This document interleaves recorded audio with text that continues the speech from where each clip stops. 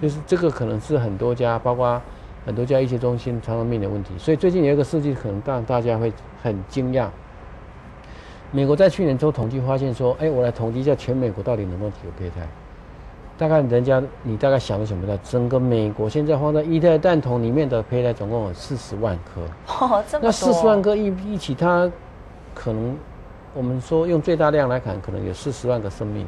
嗯，那这个这个就是一个很大的问题了，就是说，水来帮这四十万个胚胎辩护，就是说它要继续活下去，还是要销毁？哦没有人知道，所以这变成一个很大的问题。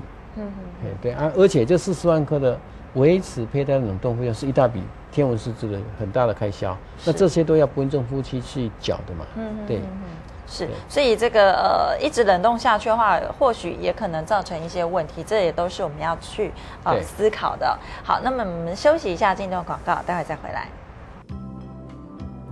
蔡丰博医师，资历博源妇产科院长，前长庚医院妇产科主治医师，荣登世界名人录，不孕症著作三本，连续四年获颁长庚最佳医师奖。赴瑞士、加拿大发表国际论文。彰化市博源妇产科院长蔡丰博医师，副院长陈昭文医师，专治不孕症。地址在彰化市中正路一段三百九十二号火车站旁，电话零四七二六零六七八。博源用心，使您更安心。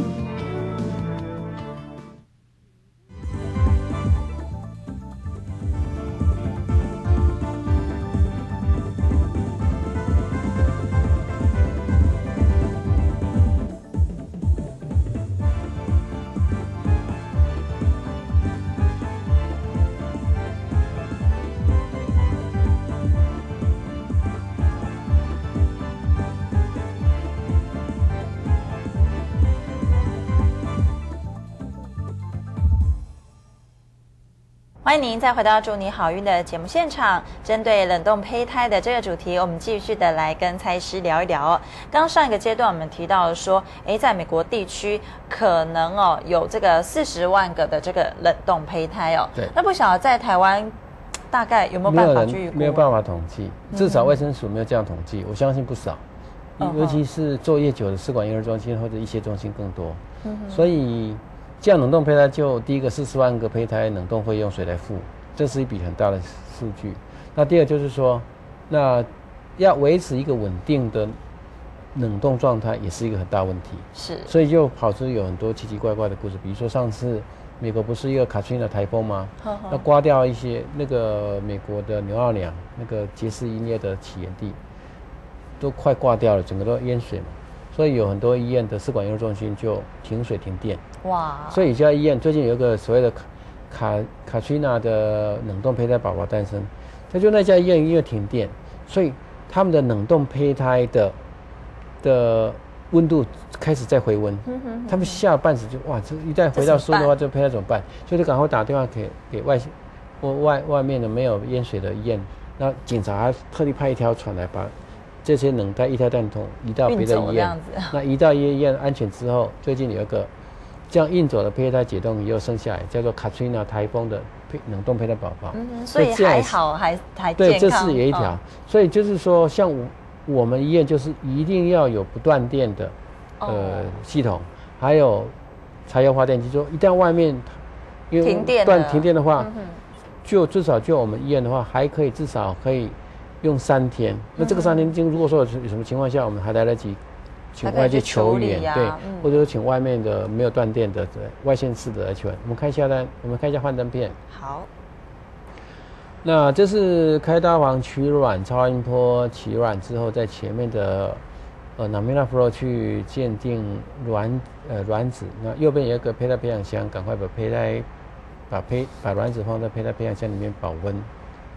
下一个下一张，那这个就是所谓的电脑控制的冷冻仪嗯，Planer。我刚才在 VCR 看到哈，所以那个对。哎，这个是快速的还是这是慢速的，慢速的？才会有所谓的电脑控制。哦，因为它需要电脑控制局部降温，从室温到二十度，C 到零下六度，C 顶之后三十度、八十度、一百九十六度。嗯看下段 VCR，那所有的快式也好，慢式也好，都是要最终还是要到液态氮的储储存桶了哈。是，对，下到必须要。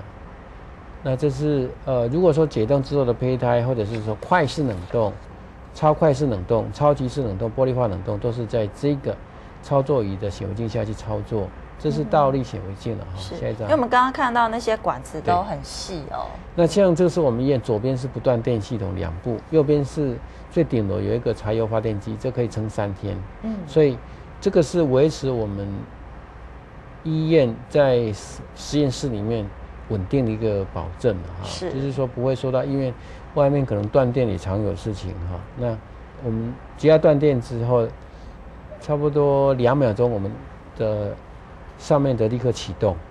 那这个都是因为柴油都是灌满的嘛，所以可以撑三天。嗯嗯嗯，好，下一段。那这是液态，呃，冷冻的液态氮桶。下一张。那这个是所谓的超快式、超级式冷冻的，呃，棒棒了哈。红色的这一根前面黑点那个是放胚胎的地方。是。那蓝色的话就是盖子，有点像原子笔跟原子笔盖了哈。下一段，下一张。那我们我们特地把它调个角度，用蓝色的只吃那个黑点。可以看到那个黑黑点，嗯，对。为什么要黑点呢？因为刚才不是有一个在在放了一胎蛋，然后要盖盖子嘛？你没有黑点的话，你这个蓝色根本不晓得从哪里放进去。哦所以它呢，它是做好呃标示好看，呃嗯容易看所以得到，比较容易看得到因。为其他的都是透明的嘛。哈、哦下一张。那左边这两罐就是说，在进入快速冷冻需要这两种的 solution 一培养液，左边要泡这一罐要泡五分钟，右边这个要泡四十五秒以内哈。下一张。那终究还是要放到这个液态氮。那这个液态氮桶呢，可以放冷冻胚胎。下一张，可以放冷冻卵子。下一张，可以放冷冻的精子。哇下一张，嗯哼，应该最后一张。最后一张所以曾经有过说到这个发电机啊，曾经有过一家医学中心的试管婴儿中心，有一次就起火了，就是冒烟了哈。还是一家非常有名的医学中心，就他们第一个时间跑进去去救的，不是救什么，就是救这一台蛋筒，赶快把它移移到安全的地方，因为这个这个如果说一胎蛋筒不发生火灾，不也不晓得为什么发生火灾，那那时候还还还有记者跑去拍哈，那那一胎蛋筒移出，如果说一胎蛋筒没有移出来的话，碰到火灾。那个不晓得怎么赔都我都很难说。你看那里面多少个病人的胚在里面，嗯那你怎怎怎么去赔啊？而且如果说那个一桶连很量很多哎、如果说连资料都烧毁的话，哦，根本那个可能也不晓得要怎么。这个是嗯要赔偿。还好那一次就是说，他们一天冒烟，他们还蛮有 sen，就是赶快冲进去，赶快把一胎蛋头，因为一胎蛋下面都是有轮子嘛，赶快把它移移走，赶快把它推走。所以还有那一次也没有说酿成大火，就是冒烟了哈，就是火灾。所以真的是在试管婴儿中心的安全设施，是很重要的哦。呃，至少要稳持一个。第一个，如果说像我们医院不不定时，在每一年年底都有一次，在过农农历过年前都有一次的火警，就是说遇到火警的时候怎么去疏散，怎么去运送病人，啊，怎么去移动这边都有有都有移动哈。嗯哼所以这个都是平常都要想想到，就是说，大概第一个时间内怎么去整抢救这些呃胚胎，有点像抢救雷恩大兵啊。大家知道电影《抢救雷恩大兵》，就是说他们家有好几代都是因为当兵，他的公公他的职务都是因为单传嘛。是那这个连大兵他有几个兄弟当兵都死掉，是他们家只剩下这个。剩他一个所以美国国防部下令就说派一组人，那就在他们汉可惜要一定要把他救回来，因为这这是他们家的香火。嗯所以冷冻胚胎也是一样，就是说我们一旦发生什么状况，一定要把这个冷冻胚胎一定要抢救出来。像那个 Katrina 台风，怎么样也要派所有的资源去把这些胚胎救出来，因为这都是生命。对，是。那呃，蔡医师关于这个呃冷冻胚胎的这些呃技术啊、仪器啊，最近有没有什么新的资讯可以告诉大家？最新的还是所谓的大家现在很热衷，就是 vitrification，就是极快速或超快速的玻璃化冷冻。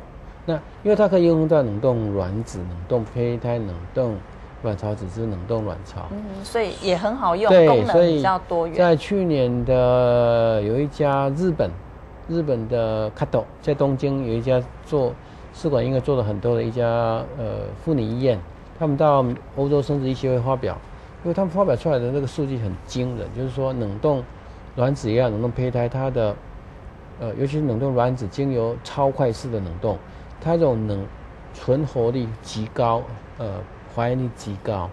所以，不过冷冻卵子有一个秘诀，就是说，你冷冻卵子一定要成熟的卵子。所以最近在今年的欧洲生殖医协会，呃，加拿大的 Migi 就是好像呃 Migi University 他们把多囊性卵巢症候群的病人不打排卵针把卵子挤出来是不成熟，然后再把它利用二十四小时把它催熟了之后，把这个卵子冷冻再解冻，然后做单粒精虫显微注射受精。只是胚胎生下小孩子，所以要冷冻卵子，一定要成熟的卵子才能够冷冻，不成熟卵子是不能冷冻。对对。好，那么最后一点时间呢，我们来请这个蔡医师来帮我们做一个结论呢。到底这个冷冻胚胎的技术，在这个试管婴儿的这个领域里面啊，到底有什么样的贡献呢？冷冻胚胎对于做试管婴儿有多余的胚胎，或者是要避免卵巢过度刺激症候群，甚至说有的人是为了要目前不想生，要保存它的生育率，都可以考虑把胚胎冷冻起来。那冷冻胚胎的技术，从以前的用电脑跑的慢式冷冻，到最近的超快式玻璃化冷冻，冷冻生物学跟冷冻的技术的突飞猛进，已经让冷冻的领域跨出一大步，包括冷冻卵子、冷冻胚胎、冷冻精子、冷冻。卵巢组织甚至冷冻整颗卵巢，甚至有人还拿玻璃化冷冻去冷冻人整个人，所以冷冻生物学的进步在最近几年内可以说突飞猛进。那这也在我们试管婴儿领域，因为人工生殖无法确定不能超过四个胚胎，也势必会让冷冻胚胎的服务的比例会相对的呃加重跟扩大。对，是。